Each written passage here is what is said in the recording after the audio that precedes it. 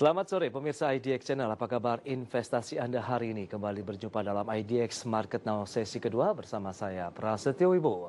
Sebelum membahas rekomendasi harga saham dan komoditas, dan seperti biasa juga kami akan menghadirkan terlebih dahulu perbincangan bersama dengan Info Vesta yang kali ini akan membahas seputar kinerja reksadana syariah. Ya, momentum kenaikan indeks harga saham gabungan atau IHSG yang terjadi sejak pertengahan November 2018 lalu hingga Februari 2019 mendorong perbaikan kinerja instrumen investasi reksadana tidak terkecuali berbasis syariah. Jumlah produk dan dana kelolaan reksadana syariah juga masih menunjukkan tren peningkatan.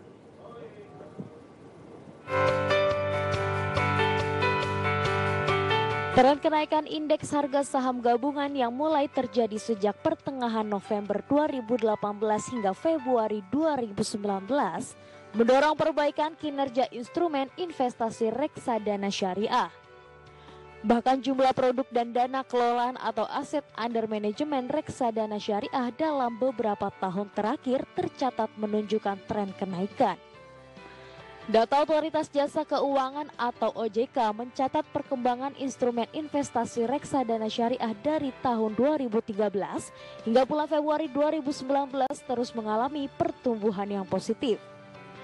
Jumlah produk reksadana syariah per Februari 2019 mencapai 233 produk dengan nilai aktiva bersih atau dana kelolaan reksadana syariah mencapai 36,76 triliun rupiah. Sementara itu bila dibandingkan dengan reksadana konvensional jumlah produk reksadana syariah per Februari 2019 tercatat menyumbang sebesar 11,12 persen dari total industri reksadana sebesar 2095 produk. Sedangkan dari perbandingan jumlah dana kelolaan reksadana syariah dan konvensional tercatat 7,06 persen dari total aum reksadana sebesar 520,91 triliun rupiah.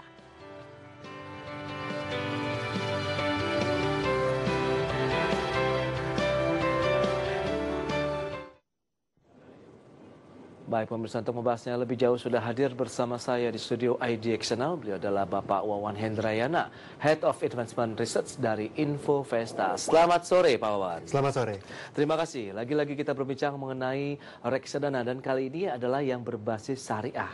Mungkin Pak Wawan bisa menjelaskan terlebih dahulu. Kalau kita sempat sampaikan begitu tren pergerakan dari beberapa tahun sebelumnya, ini masih sangat positif ya untuk reksadana syariah sendiri. Tapi kalau dari kacamata Pak Wawan dan juga Info Vesta, seberapa urgent ataupun seberapa penting dari perkembangan ataupun pertumbuhan positif dari pergerakan reksadana syariah? Ya, reksadana syariah tentu saja merupakan bagian dari reksadana, hmm. namun yang uh, tata kelolanya itu mengikuti hukum Islam seperti okay. itu.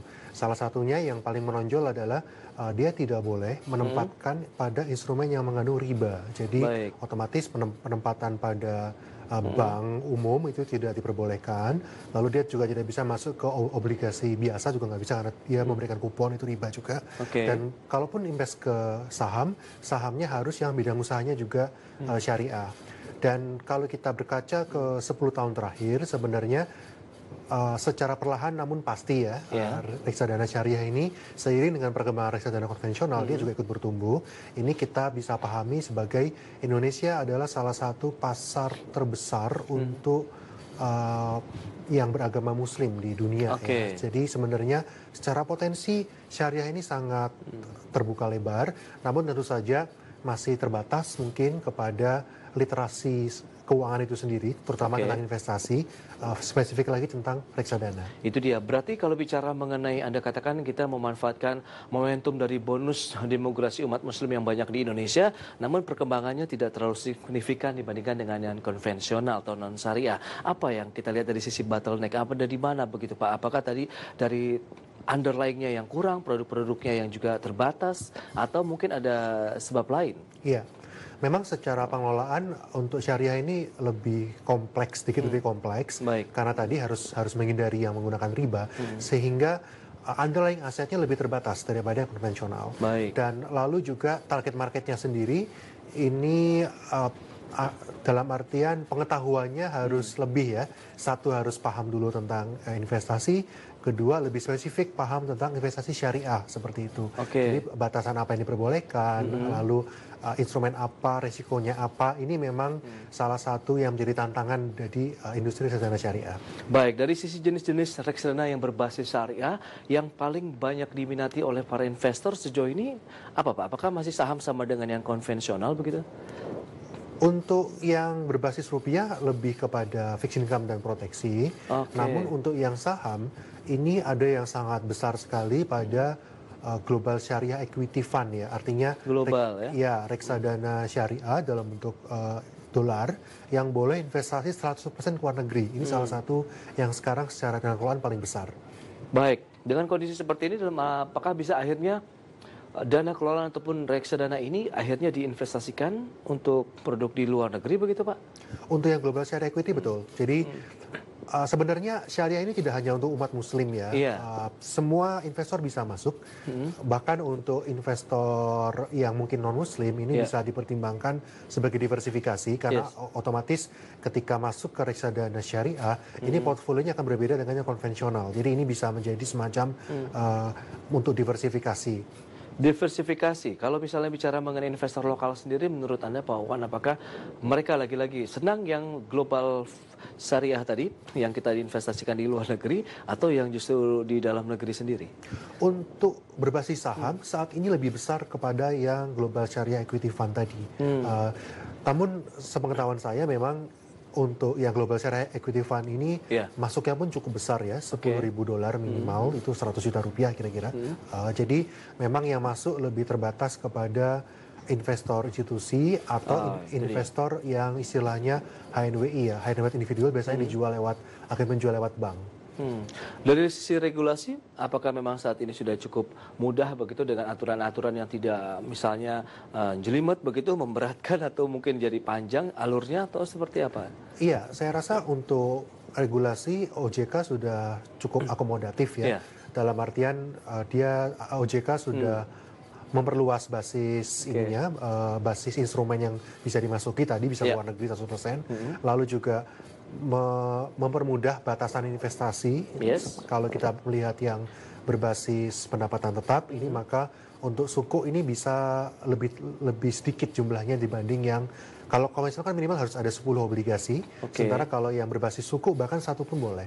Satu sukuk saja sebagai underlyingnya di reksadana pendapatan tetap ini masih dibolehkan. Nah, kalau misalnya dengan kondisi seperti ini, apakah memang perlu diperbanyak lagi, Pak, eh, dalam artian eh, produk-produk yang berbasis syariah tadi sehingga bisa dijadikan underlyingnya nih untuk reksadana berbasis syariah? Saya rasa sejalan dengan yang konvensional ya, se- sepanjang uh, semakin banyak instrumen yang dibuka semakin baik sebenarnya. Tapi tentu saja investor harus tetap kembali kepada uh, risk profile dan jangka waktu investasinya untuk Oke. masuk ke reksadana syariah ini. Karena tetap saja reksadana syariah meskipun sesuai dengan hukum Islam menghindari riba, tapi tidak lepas dari resiko, terutama resiko volatilitas Itu dia. karena dia masuk kepada sektor-sektornya lebih terbatas, dalam beberapa hal resiko volatilitasnya bisa lebih tinggi dari yang konvensional. Oh, yang syariah. Oke, bagaimana dengan yield yang ditawarkan? Apakah memang akhirnya lebih rendah begitu sehingga tidak menjadi daya tarik bagi para investor atau sebenarnya sama, hanya lebih kepada pemahaman, kemudian eh, produknya juga yang terbatas begitu saat ini? Kurang lebih sama, namun memang kalau kita berkaca kepada 3 sampai 5 tahun terakhir, ini bursa saham kita didorong oleh saham-saham keuangan terutama perbankan untuk untuk ISG waktu itu bisa lompat Iya. dari 4.000 ke 5.000 ke 6.000 ini motor utamanya salah satu adalah perbankan dan Oke. karena syariah tidak boleh masuk ke perbankan konvensional eh, beberapa produk mungkin sedikit lagging dibanding IASG. Namun kalau kita lihat tahun lalu sudah Iya. mulai ada eh, sektor-sektor perbankan syariah, BRI syariah sudah sudah Betul. melantai ke bursa dan kalau awal tahun ini terutama itu sektor infrastruktur sedang sangat baik sekali terutama telekomunikasi. Yes. Ini saya rasa bisa mendongkrak kinerja reksadana syariah. Baik, itu dia untuk reksadana syariah masih ada peluang sebenarnya. Kita akan bahas lebih jauh lagi begitu. Apakah tadi dengan kondisi seperti ini akhirnya bisa menjadi pilihan investasi bagi para investor? Kita akan jeda sebentar, Pak Wawan. Ya. Ya, pemirsa jam beranjak dari tempat Anda, kami akan segera kembali usai pariwara berikut ini.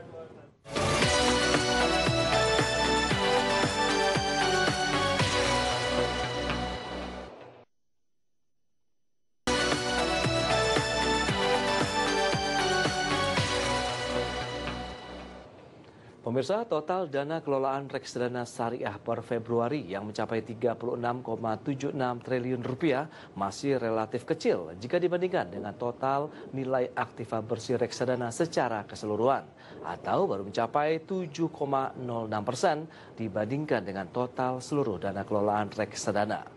Meski demikian, kalangan pengamat menilai potensi pertumbuhan industri reksadana syariah di tahun ini masih cukup terbuka. Head of Investment Research Infovesta, Wawan Hendrayana, seperti dikutip laman bisnis.com mengatakan pengembangan industri reksadana termasuk reksadana syariah masih perlu banyak sosialisasi dengan memanfaatkan peluang pertumbuhan yang terjadi setiap tahunnya. Wawan menilai pertumbuhan industri reksadana syariah nantinya akan beriringan dengan pertumbuhan industri reksadana konvensional. Pasalnya, target investor reksadana syariah lebih spesifik jika dibandingkan dengan investor di produk reksadana konvensional. Dengan demikian, upaya sosialisasi dan edukasi mengenai produk pasar modal, khususnya reksadana dari Bursa Efek Indonesia maupun OJK pada tahun ini diharapkan dapat menyentuh calon investor yang potensial untuk berinvestasi melalui reksadana syariah. Infovesta memproyeksikan total dana kelolaan reksadana syariah diharapkan bisa tumbuh minimal 10% di sepanjang tahun ini.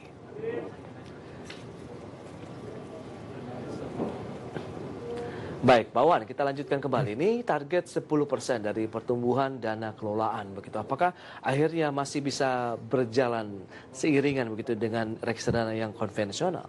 Saya rasa masih akan berjalan seiring ya. Hmm. Karena memang target audiensnya sebenarnya secara umum masih mirip. Okay. Dan strateginya pun mungkin untuk reksadana syariah hmm. seperti tadi di uh, di dalam EO yeah ini harus menyasar kepada memang eh, komunitas-komunitas uh, hmm. syariah untuk dari dari usia dini dipaparkan kepada investasi hmm. mungkin ke pesantren okay. atau ke sekolah-sekolah yang memang hmm. spesifik uh, muslim seperti Islam. ya hmm. betul ini harus diperkenalkan terhadap investasi syariah yang halal okay. seperti itu uh, yang berguna untuk masa hmm. depan mereka Oke, berarti tidak jauh berbeda dengan yang konvensional yang sudah mulai menyasar kepada sekolah-sekolah tingkat menengah, begitu bahkan perguruan tinggi juga sudah mulai disasar dan masuk dalam bagian dari kurikulum mereka begitu. Apakah untuk yang syariah juga sudah dijadikan hal yang sama dalam artian apakah bisa masuk sebagai kurikulum atau sebenarnya saat ini sudah menjadi bagian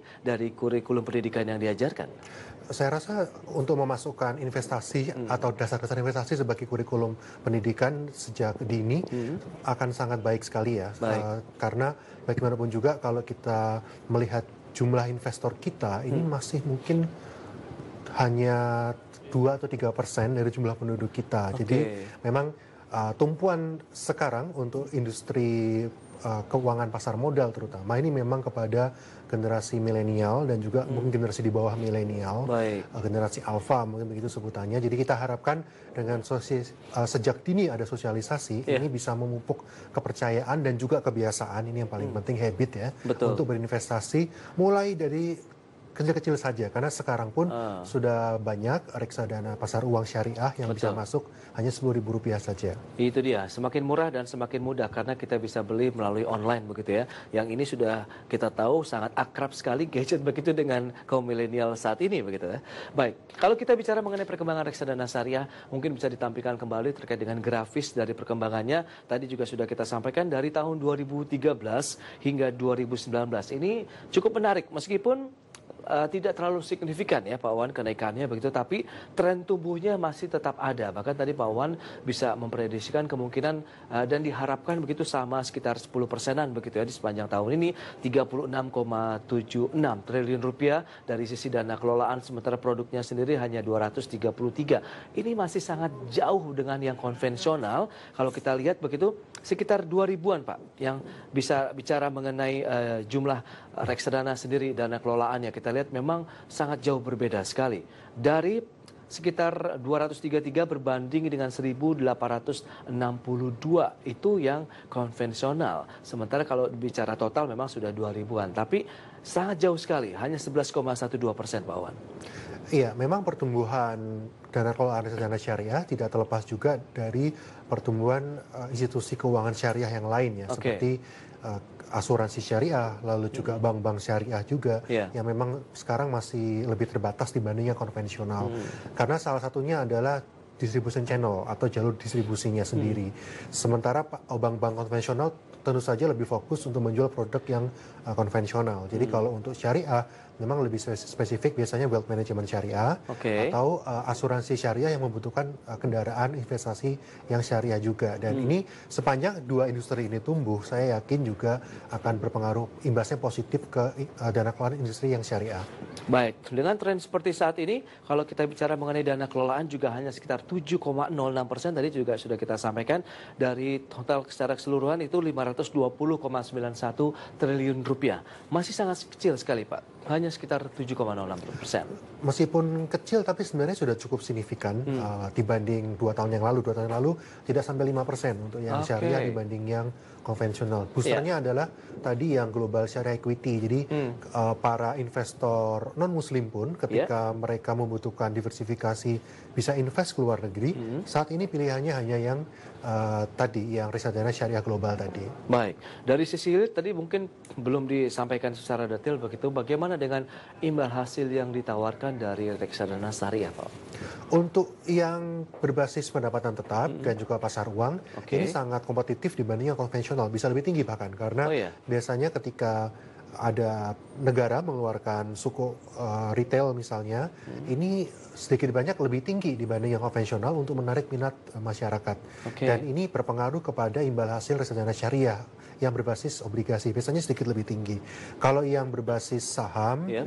memang sangat berfluktuatif sesuai dengan tren sektor apa yang sedang naik tinggi di pasar saham itu sendiri. Iya. Mungkin kalau kita berkaca 5-6 tahun yang lalu, itu uh, reksadana syariah menjadi jagoan karena waktu itu sektor komoditas batu bara sedang tinggi-tingginya. Oke. Namun lima tahun terakhir memang di bawah yang konvensional, tapi di tahun ini mungkin bisa ada bisa kembali naik lagi untuk yang saham-saham syariah. Oh ya, saham-saham syariah juga bisa bergerak. Kalau bicara mengenai pasar uang pendapatan tetap ini sudah berulang kali juga kita bahas. Kondisi yang sama di reksadana konvensional kan masih menjadi primadona begitu Mbak Wan. Berarti karena menyikapi dengan kondisi dari fluktuasinya pergerakan IHSG juga.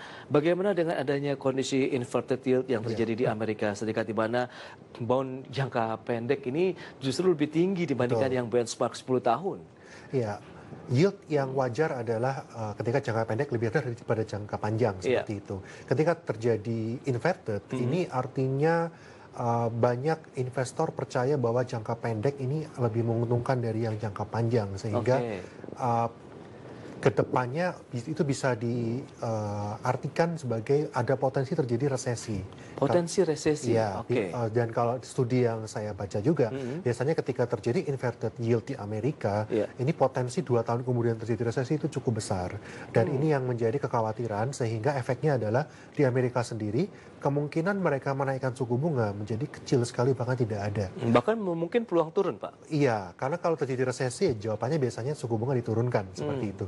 Dan ini saya rasa imbasnya justru sangat positif bagi industri di Indonesia karena artinya Hmm. Oke. BI 7 repo rate kita kemungkinan tidak akan naik Ya. dan kalau kita bisa menunggu 3-4 bulan lagi mungkin bahkan bisa turun. Hmm. Ini sudah sudah uh, terlihat pada pendapatan tetap yang kinerjanya sangat baik tahun ini Oke. karena tahun lalu mereka negatif karena suku bunga naik. Sementara Hmm. tahun ini suku bunga sudah stabil, itu kita perkirakan ketika terjadi suku bunga naik dua kali saja, Hmm. itu yieldnya sekitar 7% untuk pendapatan tetap. Oke. Kalau tidak terjadi kenaikan bunga, itu bisa sampai 8%. Dan Wow. ini juga terefleksi pada yang uh, syariah. Yang syariah juga. Sama yang syariah, saya perkirakan juga tahun ini kemungkinan besar yield daripada yang reksadana pendapatan tetap syariah itu minimal bisa 8%. Oke, sebagaimana dengan kondisi di Amerika Serikat begitu dengan adanya ditahan begitu posisi dari eh, kita tahu suku bunga acuan di Amerika Fed rate sementara di Indonesia kemungkinannya juga sama. Apakah ini akan memberikan hal yang sama positifnya seperti yang Anda katakan untuk reksadana yang berbasis obligasi? Kita bahas nanti di segmen berikutnya Pak. Ya pemirsa tetaplah bersama kami di IDX Channel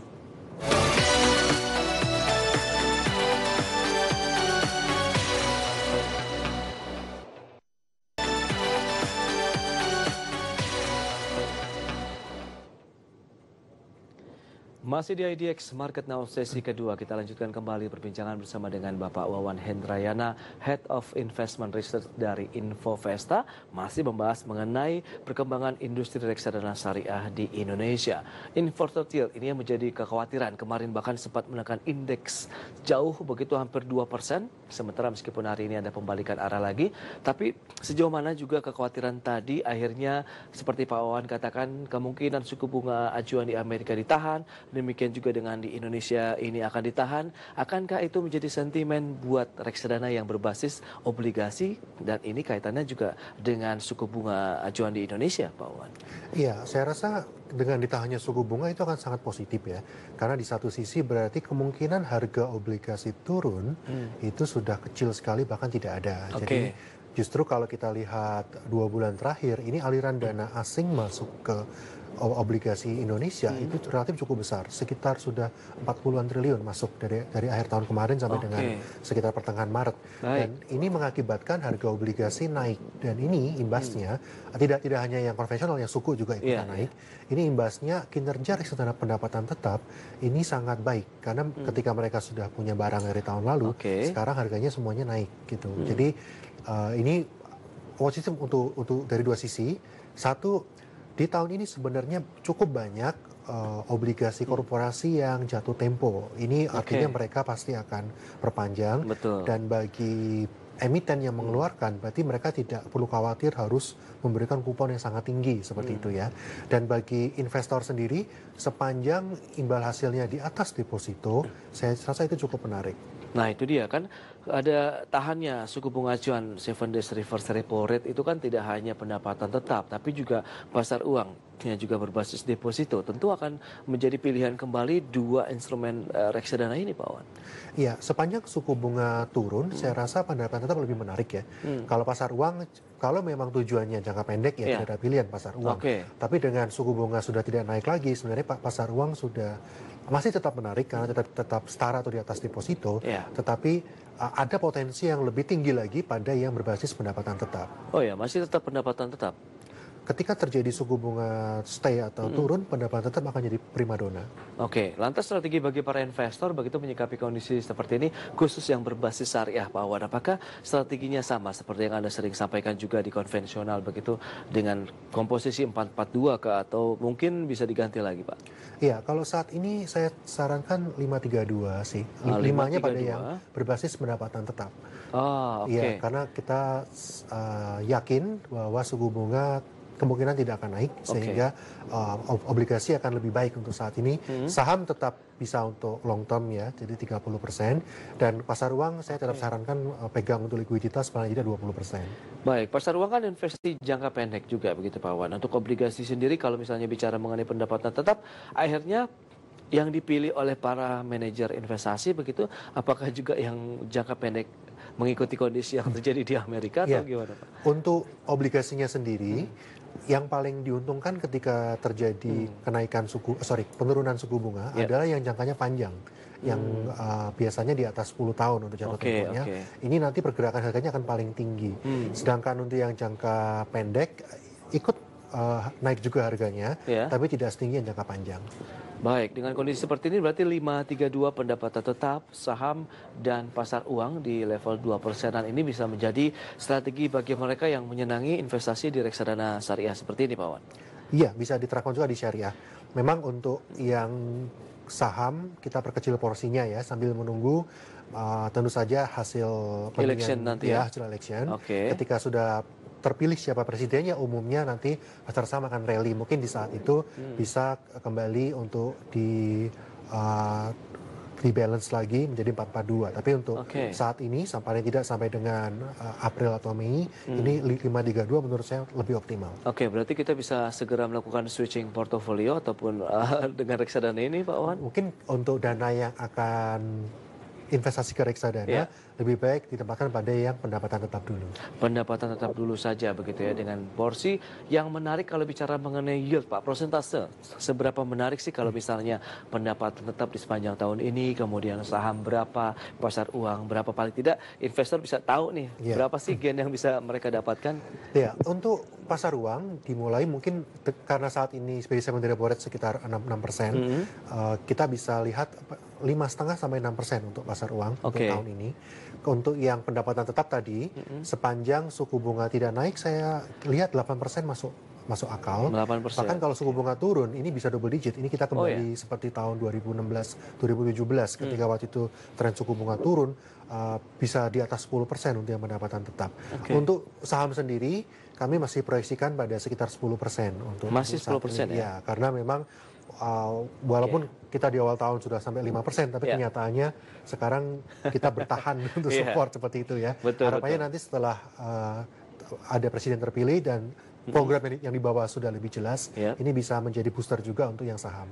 Baik, strategi sendiri kalau bicara mengenai komposisi 532, tapi apakah mereka bisa menyimpannya untuk akhirnya eh, jangka panjang? Ah, kalau menyingkapi Anda katakan tadi, akhirnya banyak di pendapatan tetap, sementara pasar uang yang sempat jadi primadona dalam beberapa bulan terakhir ini sudah mulai ditinggalkan, Pak. Ya, saya rasa ini tergantung kepada kebutuhan masing-masing ya. Hmm. Reksadana pendapatan tetap pun ini bisa digunakan untuk investasi eh, sampai dengan tiga tahun. Ini masih Oke. cukup optimal. Baik. Saham sih memang idealnya di atas Ya, lima tahun. betul. Dan pasar uang di bawah setahun. Institusi atau investor retail, Pak?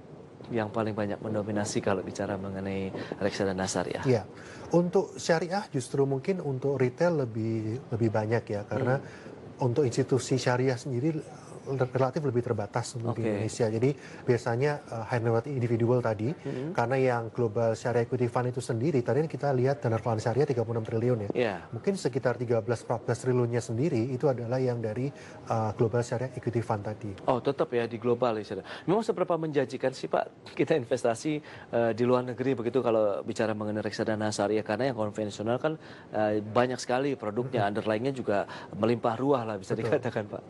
Iya, tentu saja untuk kinerja tergantung sekali kepada kinerja bursa saham global itu sendiri ya. iya. Kalau kita berkaca pada 2017 luar biasa. Hmm. Hmm. Uh, Karena waktu itu indeks kita 20 persen, indeks di Jepang, di Amerika lebih dari itu. Namun di 2018 mereka jatuh lebih dalam dari Indonesia. Hmm. Jadi kerugiannya yang global share equity bisa lebih dalam. Iya. Tapi di di tahun ini masih masih so-so dan sebenarnya di yang rupiah masih lebih baik kalau untuk tahun Oh, ya? ini. Paling paling tidak year, year to date ya. Iya, iya. Tapi kita kan masih masih melihat uh, masih ada sisa sampai dengan akhir tahun ini seperti apa.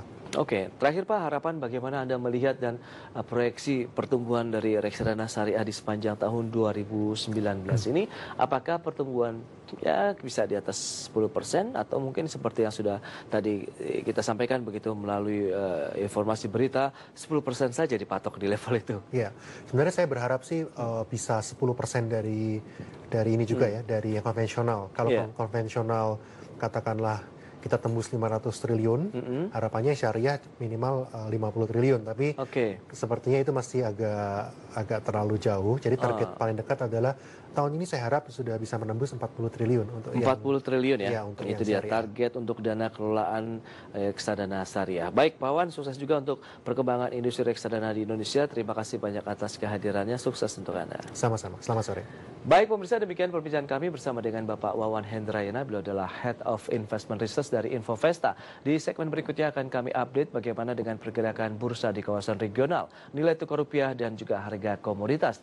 Tidak lupa juga kami mengajak Anda untuk mulai aktif berpartisipasi dengan mengajukan pertanyaan kepada kami untuk membahas bagaimana strategi portofolio Anda. Line telepon interaktif maupun WhatsApp interaktif kami segera kembali. Terima kasih.